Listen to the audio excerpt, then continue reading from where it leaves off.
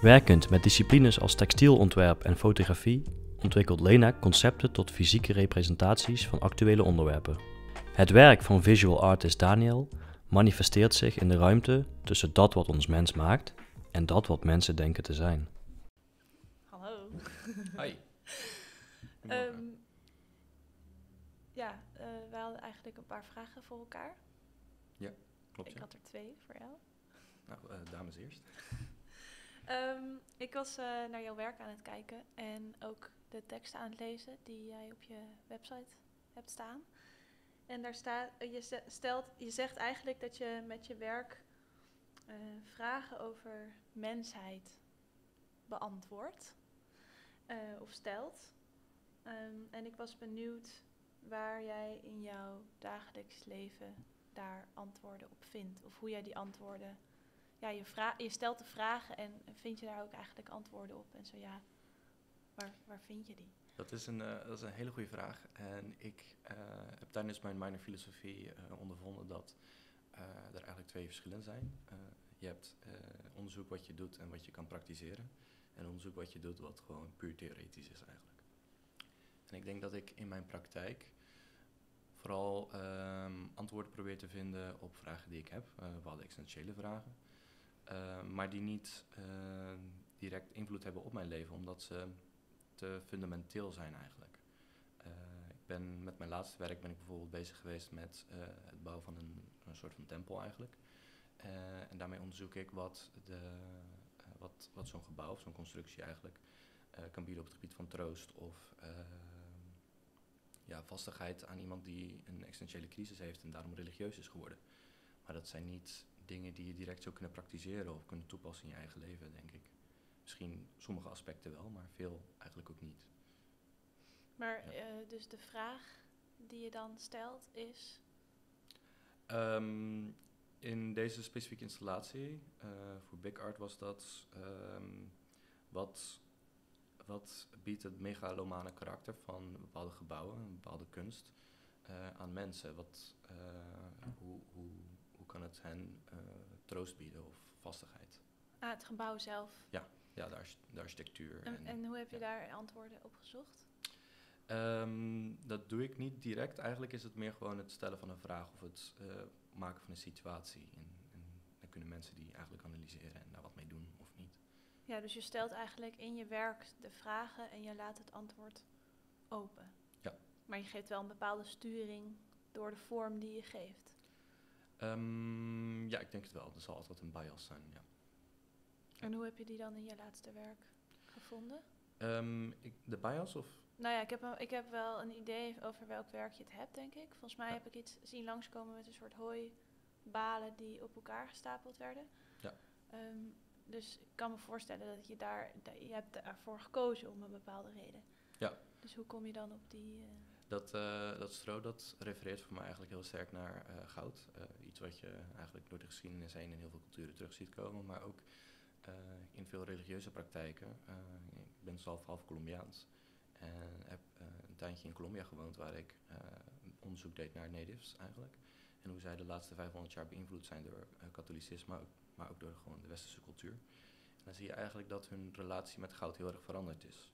Eh, wat die 500 jaar geleden eh, puur spiri- eh, spiritueel eh, was en waar hij eh, ingezet werd op een spirituele manier, eh, kunnen zij vandaag het materiaal helemaal niet meer gebruiken, omdat het financieel totaal eh, ontoereikbaar of eh, onbereikbaar is geworden. ja, gewoon te duur eigenlijk. Ja, ja, compleet. En ik vind het eigenlijk interessant hoe, hoe dat materiaal dus eh, in, in, in gebouwen, in architectuur, maar ook in kunst, een rol gespeeld heeft, eh, maar eigenlijk ook hele praktische eh, eh, doeleinden heeft. En eh, dan vind ik het dan tof om dat materiaal te gebruiken en, en mijn eigen constructies te, te maken eigenlijk. Eh, en ja, ik denk dat je die in de lokhal bedoelt, die toren. Of? Ja, ik, ik Ja. heb iets langs zien komen. Het leek een beetje op een, op een iglo. Ja, ja. Eh, met een gat bovenin. Ja, dat was een eh, toren van bijna 6 meter hoog met een koepel erbovenop. Ja. En eh, daar wilde ik inderdaad gewoon die, die architectuur gewoon nabootsen. Ik wilde zelf een koepel bouwen. Koepels zie je op, op heel veel plekken in de wereld terug. En eh, helemaal bovenin zat er dan een gat. En daar scheen een lamp naar beneden. En dat vond ik eigenlijk ja, heel tof om gewoon een keer zelf te maken. Dus in plaats van eh, dingen alleen maar theoretisch te benaderen, wilde ik zelf een, een, een, construct maken, wilde ik de- zelf zo'n ervaring creëren. En, en hoe relateert dat dan aan, aan het woord mensheid? Mm, mensen willen allemaal hetzelfde, denk ik. Eh, ze zoeken allemaal, eh, als, je, als je kijkt eh, in die geschiedenis, dan zie je dat mensen altijd de hoogte in willen. Ze willen altijd belangrijke gebouwen, belangrijke mensen, die, die gaan de hoogte in. En het is iets heel simpels eigenlijk. Het gaat alleen om hoogte. En dat wilde ik eigenlijk hier in Georg eh, benaderen. Van dit is hoog, dit heeft licht en dit zit eigenlijk. Ja, Ja. interessant. Ja. En dat heeft, ook een, heeft het ook eh, een relatie naar religie of laat je die eigenlijk los? Ja, Is het meer een referentie? Ik denk dat ehm, gebouwen die zo hoog gebouwd worden, eh, of tenminste als je het hebt over religieuze gebouwen, die, die maken ook vaak gebruik van die hoogte. Eh, en ik denk dat ze dat wel met een reden doen. Vaak heb ik het idee dat, dat een entiteit of een god of zo dan toch op de een of andere... Almachtige is boven Ja. en hoog en Ja. daar willen we naartoe. het vliegt of zo. Ja, Het de mensheid wil die dan een soort van bereiken. Ja, Ja. ja, een soort van hiërarchie is belangrijk. Ja. Maar ja, dat, dat, dat gaat dan specifiek over, over die hoogte en dat werk. Ehm, maar over, over jouw werk, want ik zat op jouw website te kijken en daar kwam ik een project tegen wat heel erg gaat over textiel en hoe jij volgens mij textiel eh, ontwerpt naar aanleiding van de persoonlijkheid van mensen. Klopt dat? Ja, klopt. Oké, hoe, hoe, hoe ging dat in zijn werk? Eh, interview jij de mensen of hoe, hoe kom je tot het ontwerp? Ja, ik denk dat eh, daarom sprak bij jouw werk ook het woord mensheid me aan. Eh, ik heb eigenlijk een beetje een liefde en aversie voor mensen. Om de rol die we in de wereld spelen vind ik, vind ik vrij ja, desastreus eigenlijk. Maar tegelijkertijd vind ik het ook fascinerend hoe we met z'n allen inderdaad dezelfde kant op bewegen. Eh, in het grotere plaatje. Dus niet als je denkt over eh, politieke stromingen, maar meer, ehm, meer de, de mierheid, zeg maar het mier zijn van de mens. Dus Ja. hoe je eh, met z'n allen beweegt in bepaalde systemen. En die systemen vind ik heel fascinerend. Maar ik denk dat ze ook heel ongrijpbaar zijn voor veel mensen en ook voor mezelf. Dus ik vind het interessant om te kijken naar hoe je eigenlijk eh, die grotere systemen kunt vangen in heel persoonlijke aspecten. En ehm, ja, ik denk het project waar je het nu over hebt is een eh, samenwerking met eh, zes vrouwen uit Amsterdam Nieuw-West. Ehm, die heb ik leren kennen dankzij Cascoland, een ehm, ja, organisatie die werkt aan het opkrikken van buurten eigenlijk. En zij hebben in de Lodewijk van Dijsselstraat een, eendag, de eendagzaak opgericht. Dat is een plek waar mensen eh, uit de buurt met een ondernemerswens één dag per week gratis eh, hun onderneming kunnen toetsen of testen of uitvoeren. En daar het een kwamen. soort winkeltje? Of Ja, het is eigenlijk een soort, het is een soort winkelpand, een grote etalage. En ehm, de, om ja, ook een connectie met de buurt te maken. En daar kwamen dus op een gegeven moment, want je hebt dus zeven, zes dagen in de week, er kwamen zes, uiteindelijk zaten er zes vrouwen in die allemaal met eh, textiel werkten. En toen hebben ze mij daarbij gevraagd om eh, te kijken wat ik daarin kon betekenen. En ik zag daar eigenlijk een hele mooie kans. Ik dacht, ja, dit zijn mensen die ik niet ken. Die, hebben, die komen allemaal uit een andere achtergrond dan waar ik zelf vandaan kom, maar we hebben wel een connectie met de stad. Ehm, hoe kunnen we hun verhalen en hun, eh, hun kwaliteit ook, want daar ging het vooral om, dat zij allemaal iets met textiel doen en ik ook, Mhm. eh, met elkaar verbinden. En ik heb hun eh, allemaal gevraagd om eh, vijf persoonlijke objecten uit te zoeken. En aan mij te laten zien en een verhaal over te vertellen. Dus ik heb hun ja, geïnterviewd, maar ook de objecten die zij meenamen op de foto gezet. En met die objecten en de foto's, of eigenlijk met de foto's van die objecten, heb ik een print op textiel ontworpen. Voor oké. iedere, iedere ja, eendagszaker, om het zo maar te noemen. En die prints op textiel, die, eh, ja, die waren dus heel persoonlijk, omdat het over hun objecten en hun verhalen gaat. Maar tegelijkertijd, ehm, wat ik daarmee wil bereiken, is dat anderen zich daar ook in herkennen. Mhm. Dus dat ook al is het een heel persoonlijke stof die ik heb gemaakt voor iedere eendagzaker, is, of iedere onderneemster eigenlijk. ehm, eh, tegelijkertijd laat het zien dat wij allemaal een relatie hebben tot objecten. En is het ook de bedoeling dat je je daarin kan herkennen en dat je denkt, oh wat bijzonder. Ik, en dat er dingen in jouw hoofd gaan spelen over de objecten waar jij eh, waarde aan hecht. Ja, maar het is ook eigenlijk het hele omdraaien eigenlijk van, van kleding. Want eh, vaak heb ik het idee dat door bepaalde kleding te dragen, dat je jezelf ook bijna automatisch klassificeert tot een bepaalde groep of zo. En door eh, persoonlijke dingen in je eigen kleding te verwerken, dan, dan, dan wordt het opeens totaal eigen of zo. Het, is, het gaat niet meer over iemand anders, het gaat puur over jezelf eigenlijk. Ja, en ik denk dat dat de achterliggende, de, of ja, een, een groter, groter verhaal in mijn werk is. Dat ik heel erg op zoek ben naar hoe kan ik. Dus je, je hebt zeg maar die objecten waar je waarde aan hecht, omdat daar een persoonlijk verhaal aan vastzit. Maar ik ben ook heel erg bezig met hoe je juist weer het verhaal al in het object kan brengen voordat je, voordat je er nog waarde aan hecht. Dus hoe kan ik ervoor zorgen dat de dingen die we gebruiken en de stoffen die we dragen of het tapijt dat er op de grond ligt, hoe kan, hoe kan ik daar een extra persoonlijke waarde in toevoegen, zodat we ook meer waarde hechten aan de spullen die we hebben en daar voorzichtiger mee omgaan dan dat we nu vaak doen. Ja. En ja, dat is denk ik uh, mijn persoonlijke inbreng qua ontwerp.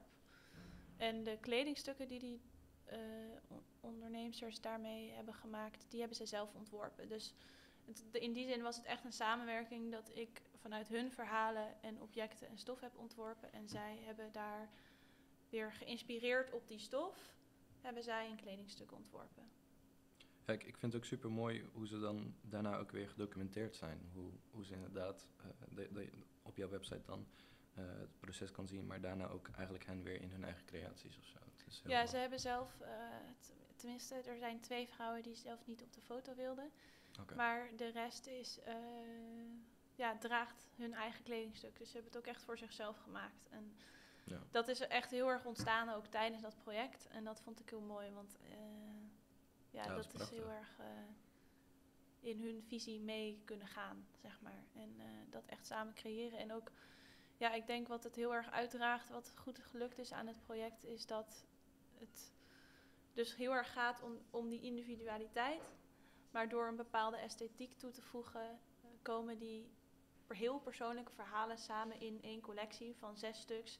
Die juist weer heel erg laten zien, dit zijn wij, um, wij wonen hier en dit zijn onze kwaliteiten. En dat juist weer uit te dragen als, um, als collectief. Ja. Ja. En, en de kledingstukken die zijn bij hen gebleven of die zijn weer met jou meegegaan?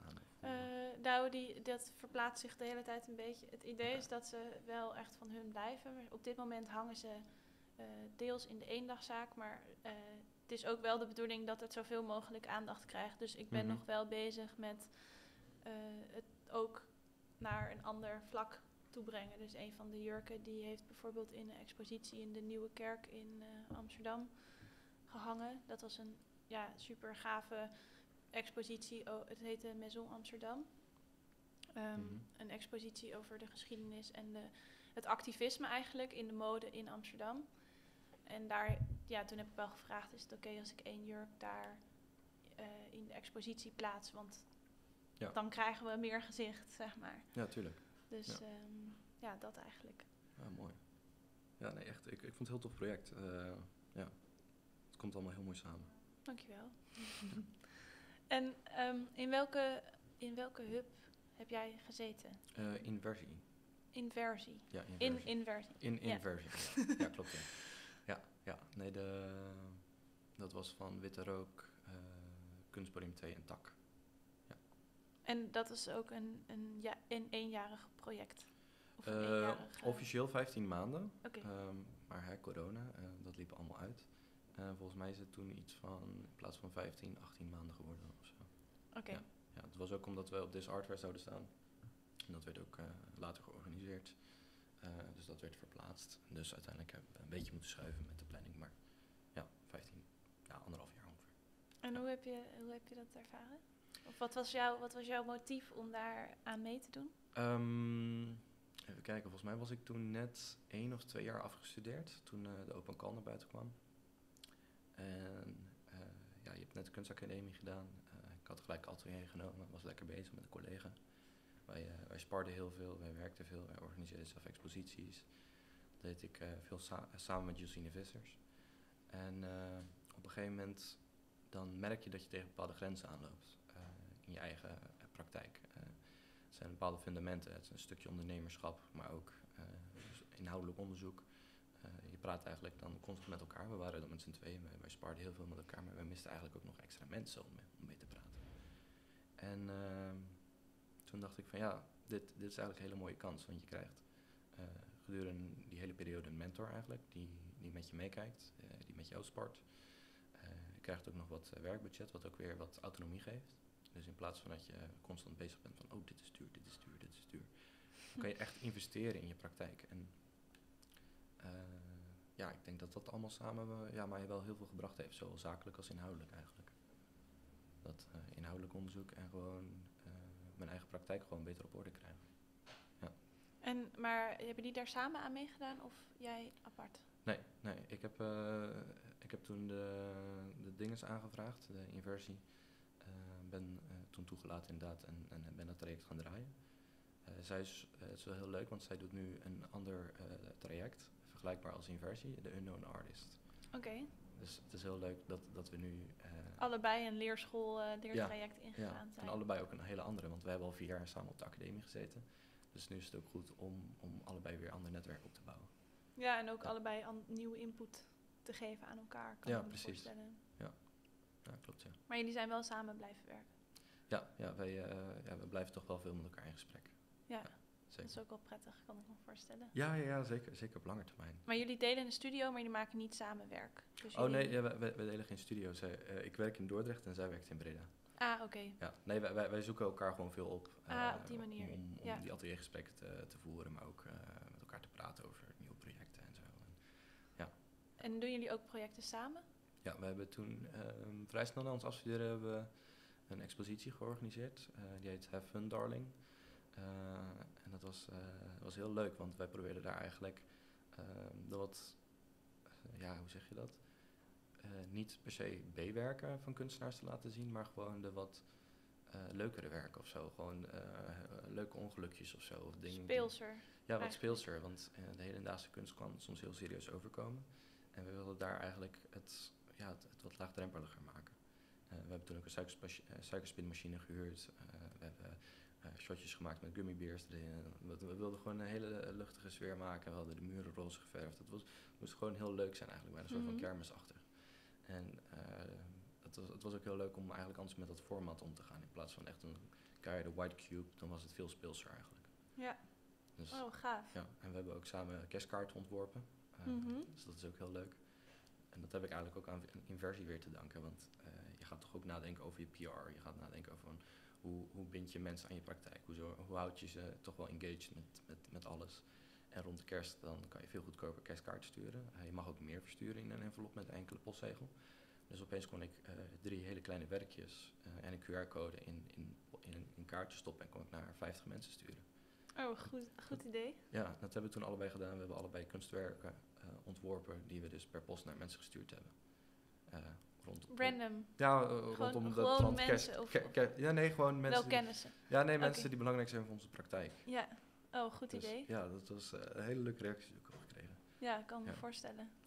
En, en, en jij, jij- wel- welke, welke hub heb jij gedaan? Eh, ik zat bij Design to Market. Mhm, Dus eh, ja, ik kom echt uit de vormgevershoek. mhm. Alhoewel ik daar nog wel de, de, de niet-klassieke vormgever ben. Ik ontwikkel geen producten of wil ook geen producten op de markt zetten. Ik wil eigenlijk gewoon vooral mezelf.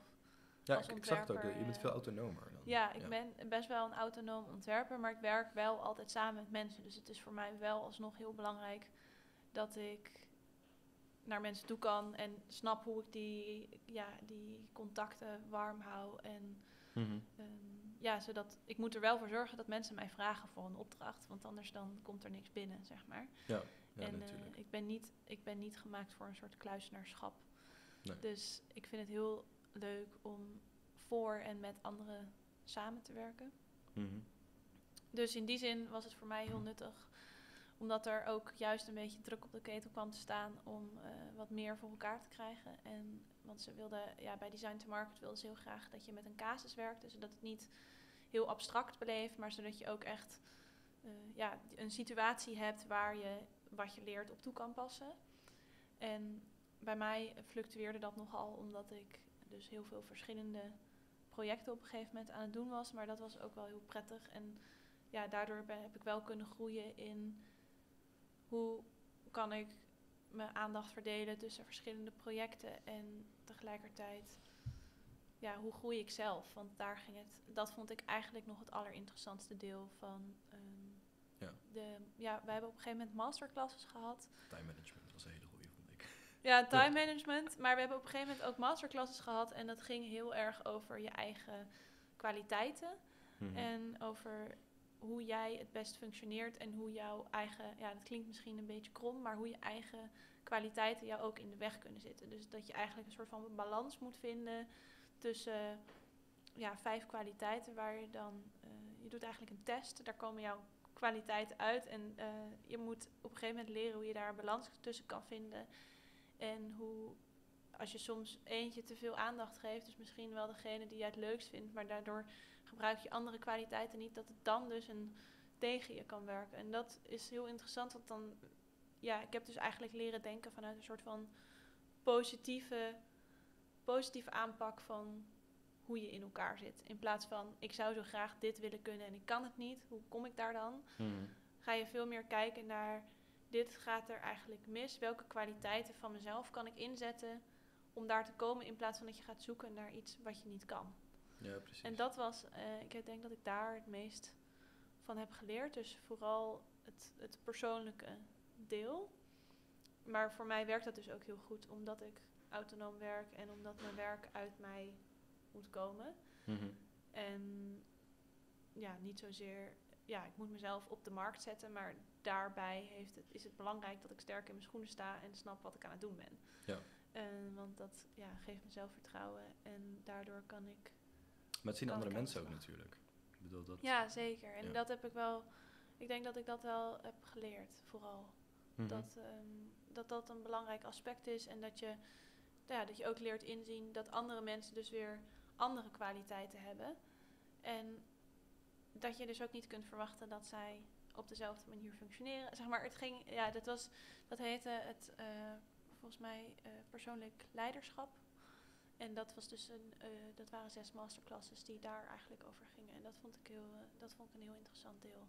Oké. Ja. wij, wij, hebben, um, ja, wij deden ook wel masterclasses, maar dat waren een soort van enkele lessen. Dus, ik, dus je hebt dan een soort van traject gevolgd of zo? Was dat? Ja, dat was iedere maand één keer. Oh, oké. Dus wel een, een, een, lange termijn project. Maar daar, ja, daar heb ik eigenlijk best wel veel uh, aan gehad.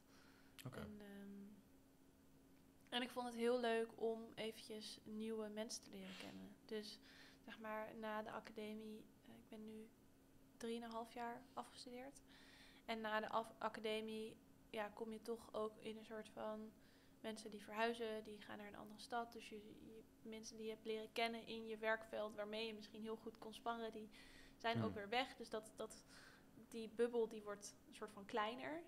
En ik vond het heel leuk om dat weer eventjes op te rekken. En we zaten ook met mensen van verschillende leeftijden en hele verschillende dingen. Dus mhm. nou ja, wat ik, wat ik al zei, ik was meer, uh, ik ben veel projectmatiger. Dan zijn er mensen die veel meer een product ontwerpen of juist weer een social designer, zeg maar. Dat maakt het best wel divers. Mhm. En dat, ja, voor mij heeft het ook wel veel gebracht gewoon om met mensen die ik niet ken, bouw je toch best wel snel ook een band op. Als je het over zulke ja, eigenlijk als je het over je werk hebt, want tenminste mijn werk is uh, vrij persoonlijk. En daarmee kom je best wel snel elkaar, of ja, leer je elkaar best wel snel kennen. En dat vond ik ook heel interessant. Dus dat je ja, toch weer even een soort van uh, nieuwe groep mensen om je heen hebt waarmee je kunt sparren en waarmee je door hetzelfde traject loopt met andere onderwerpen. En dat maakt het uh, ook heel leerzaam, denk ik. Hoe je ziet het bij anderen. Want waren ze allemaal heel anders dan jij? Werkten ze heel anders? Of? Ja, ik denk ik, op, op, bepaalde vlakken is het een totaal andere smaak, totaal ander werk. Um, maar op hoe je daarmee omgaat, ligt het allemaal best wel dicht bij elkaar. En dat was wel uh, leuk, denk ik. Omdat je dus, ja, je maakt heel andere dingen, maar je ehm, ja, je maakt andere dingen, maar je bent wel ook met elkaar bezig in hoe je daar, ja, hoe je, als je tegen iets aanloopt, hoe ga je daarmee om? Als iets heel goed gaat, hoe ga je daarmee om? En dat, eh, dat was een leuk gesprek, denk ik, Oké. gedurende het hele jaar. Ja. Ja. Moeten wij nog een, een, een tip geven? Oh ja. En dat is aan, eh, dat is aan toekomstige hubbers. Ja. Toekomstige groenlingen die eh, net van de academie komen. Ja, ehm, ja, ik denk dat de tip die ik het eh, het liefst zou mee willen geven aan eh, toekomstige mensen die eh, echt zich willen bezighouden met de beeldende kunst, ehm, is dat mensen zichzelf serieus zouden moeten nemen. Ehm, ik zie vaak dat kunstenaars zichzelf eh, een beetje wegcijferen eigenlijk. En dat ze zeggen van ja, het, is voor de kunst, het is voor een kunstwerk, dus eh, het zal niet zo belangrijk zijn. Of oh, ik hoef niet te investeren, want oh, dit is duur. Of oh, eh, moet ik dit wel doen? En ik denk dat het heel belangrijk is dat je als kunstenaar zijnde beseft dat jij eigenlijk al vier jaar van je leven geïnvesteerd hebt in, in dat kunstenaarschap. Dus worst case scenario heb je al vier jaar van je leven weggegooid. Ehm, dan, zou ik zeggen van doe die extra mile. Ga, ga er echt voor. En eh, investeer financieel, maar ook tijdgebonden en energie. Echt alles erin gooien en het gewoon doen. En eigenlijk niet te zenuwachtig zijn, want je bent al afgestudeerd. En die, ja, ik, denk dat die hub dat mij eigenlijk ook wel heeft laten zien van, ja, eh, doe het gewoon. Ik denk dat dat de, de grootste twijfel wegneemt, of dat heeft bij mij de meeste twijfel weggenomen. Om, om gewoon echt eh, als ondernemer aan de slag te gaan. Dus echt, eh, ja, jump. Neem dat, neem dat risico. Ja, ik sluit me daar eigenlijk wel heel erg bij aan. Ik denk dat het inderdaad, wat ook dit jaar me heeft gebracht, is eh, ja, vooral vertrouwen in wat je doet. Dus ja, dat, dat wat jij van plan bent, is vast wel een goed idee. En wat ik wel zou denken is dat het, wat ook fijn is, is ja, zeg maar, het is zo afgezaagd om te zeggen, blijf bij jezelf. Eh, maar het is ook heel goed om te, om te snappen wat dat zelf is.